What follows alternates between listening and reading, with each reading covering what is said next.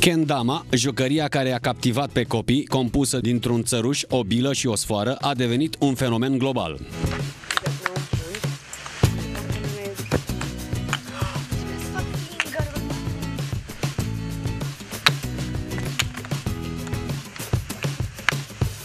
Aceasta înlocuiește acum jocurile pe calculator peste tot în lume și copiilor le place pentru că pot să se joace afară, pot fi creativi și pot socializa. Am văzut mai mulți copii și am vrut și eu să încerc, să văd cum este. Îl folosesc și spinnerul. Și care îți place cel mai mult dintre cele două? Kendama. De ce? Mm, pentru că mă joc mai bine cu ea. Am văzut mai mulți copii făcând asta. Prima oară nu am fost foarte de acord. Am zis că, nu știu, vreau să fac altceva, dar uh, am, uh, m-am apucat și eu după...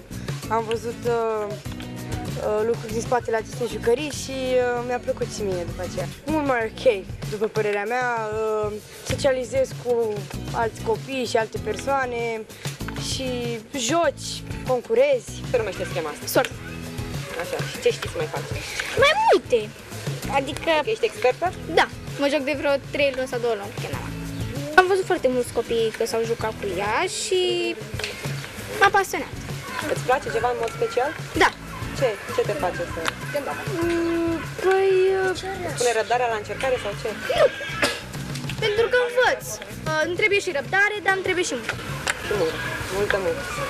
Potrivit psihologilor, Kendama ajută copilul să-și îmbunătățească coordonarea mână-ochi, atenția, precizia, perseverența și concentrarea, lucru care îl va ajuta să devină mai bun și la activitățile de fiecare zi sau sporturi. Este un joc, uh, din punctul ăstu, foarte important, mai ales că este un joc japonez, așa cum știm, japonezii sunt foarte isteți, le dezvoltă acestor copii capacitatea de atenție, le dezvoltă imaginația, tocmai pentru că în acest joc trebuie să aibă fel și fel de strategii pentru a putea să prindă um, acea bilă.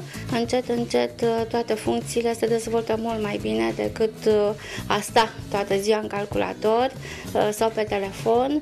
Uh, Părinții își doresc acest lucru pentru că um, în felul acesta renunță la aceste mijloace care de altfel ne-a furat pe toți și pe adulți, numai pe copii, iar uh, lor le dezvoltă foarte mult atenția, ceea ce este foarte important. Devine periculos doar dacă reprezintă singura preocupare a copilului. Pe lângă antrenamentul intens, contează și calitatea jucăriei. Prețurile variază de la câteva zeci de lei la câteva sute, iar diferența de bani vine din materiale din care este realizată. Unele ajung să coste și peste 500 de euro. Kendama este o jucărie de îndemânare de lemn tradițională japoneză, care s-a bucurat la început de popularitate în rândul copiilor, dar a ajuns în scurt timp o jucărie pentru adulți și copii deopotrivă. Această jucărie a apărut undeva prin secolele 17-18, iar jocul care a inspirat Kendama este originar din Franța, Bilbuquet, joc al cărui denumire înseamnă textual cupă și bilă.